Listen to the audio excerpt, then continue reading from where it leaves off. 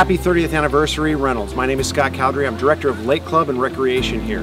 I've only been here for a year, but a lot in one year has really transformed. If you look at the beauty and the landscaping, all the lush plants that are coming in now, you can see the lake. Million dollar views from any vantage point here at Lake Club. Kathy's complete facelift and the flow and the food and the service are outstanding as always. We've added water bikes so you can see the lake from different vantage points We've added bicycles. We have an entire fleet that you can take on the 21 miles of trails that we have here. Lots more functional equipment inside with kinesis and equipment that you can use form and function and kinesthetically how your body actually moves, along with new fitness classes. We look forward to many more years here at Reynolds.